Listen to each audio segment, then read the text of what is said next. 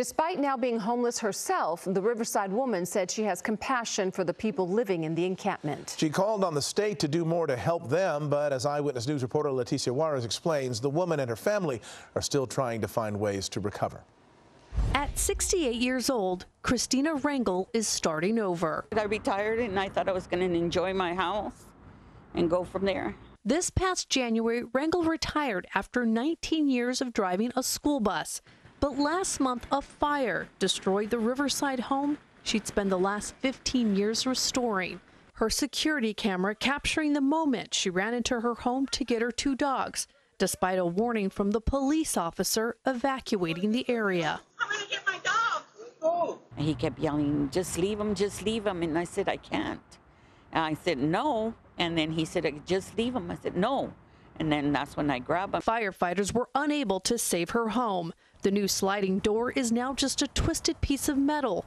The new windows Rangel had just installed are boarded up. And her once cozy living room was gutted by fire and smoke. Rangel says it was her neighbor who broke the news she'd lost everything. I said, but how's my house? He says, it's gone. Your house is gone too.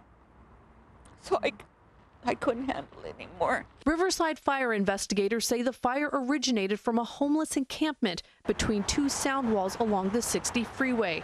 Embers from the wind-driven fire set Rangel's home ablaze. Just want somebody to do my house. Just put me back where I was.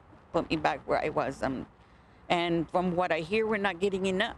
Despite having insurance, it won't be enough to rebuild the 850 square foot two bedroom bungalow Rangel's daughter started a GoFundMe page to help her mom. In the beginning, we didn't want to make a GoFundMe. We thought maybe uh, the insurance would be enough. Um, but then now that we're interviewing and getting estimates, uh, we're thinking we might not have enough. Rangel says she's in the process of finding a contractor that will help her to rebuild her home.